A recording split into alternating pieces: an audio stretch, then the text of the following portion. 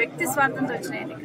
కాబట్టి మీకు అందరికి విజ్ఞప్తి చేస్తా ఉన్నాను వ్యవస్థలో మార్పు రావాలంటే రాజీనామాలు చేయడం వేరు కానీ వ్యక్తిగా వ్యక్తి స్వార్థంతో వచ్చిన ఎన్నికను దయచేసి గుర్తుపెట్టుకోమని మనవి చేస్తా ఉన్నాను ఇక్కడ అభివృద్ధి కావాలన్నా ఏది కావాలన్నా గౌరవ ముఖ్యమంత్రి కేసీఆర్ గారితోనే సాధ్యం. మీరందరూ కూడా మరొకసారి టీఆర్ఎస్ పార్టీకి ఓట్లు వేసి వేయించి గెలిపించమని కోరుతున్నాను అయితే ఎనిమిది సంవత్సరాల్లో ముఖ్యమంత్రి గారు చేసిన చాలా పనులు మేము ముందున్నాయి. ఊరికే ఏదో పైకి వెళ్ళి వచ్చేదో మాట్లాడిపోతున్న బీజేపీ వాళ్ళ కంపారిజన్ చూడండి.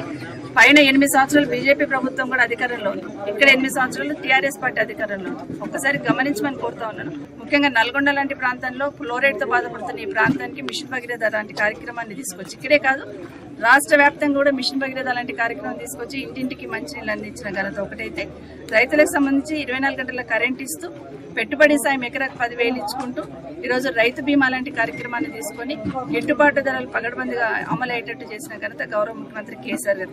మీరందరూ కూడా విఘ్నులైన నా మునుగోడు ప్రజలందరూ కూడా టీఆర్ఎస్ పార్టీని కారు గుర్తుకు ఓటేసి గెలిపించి గౌరవ ముఖ్యమంత్రి కేసీఆర్ గారికి బీఆర్ఎస్ పార్టీ తరఫున గిఫ్ట్